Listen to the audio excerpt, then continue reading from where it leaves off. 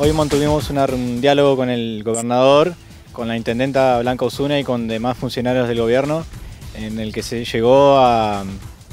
Eh, se dialogó después de, digamos, de, charlar. Eh, el gobernador finalmente decidió que las termas no se van a hacer, así que eso es una, victoria por parte de la Asamblea, pero quedan eh, un par de cuestiones que afinar en cuanto a nuestras propuestas.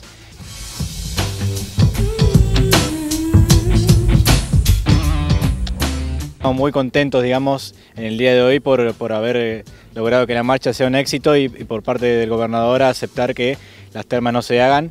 Eh, pero igualmente vamos a seguir porque eh, quedan, como te decía antes, quedan un par de cuestiones que afinar. si bien el gobernador dijo de palabra que no lo va a hacer, necesitamos mm, algo, algo por parte legal, alguna firma que él, digamos, quede sentado de que las termas definitivamente no se van a hacer. Eh, a nivel, digamos, eh, por así decirlo, digamos, escrito.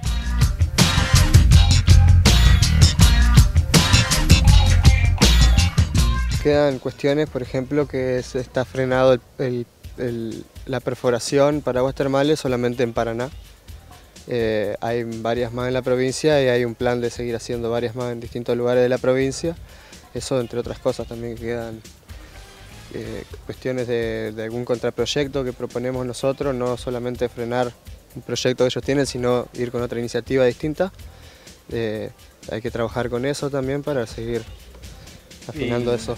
Perdón, con la cuestión del parque acuático, eh, lo que nosotros vamos a seguir defendiendo es que no se ocupe el espacio público para estos fines, digamos, privados.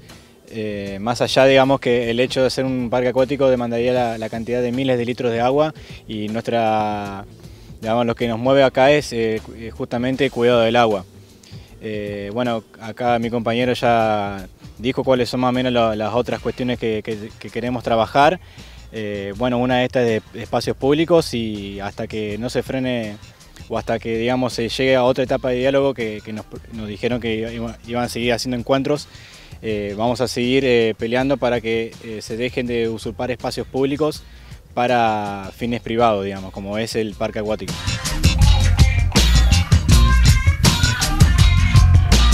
Vamos a, seguir el acampe hasta digamos, que nos aseguren que, eh, que no se va a hacer el parque acuático.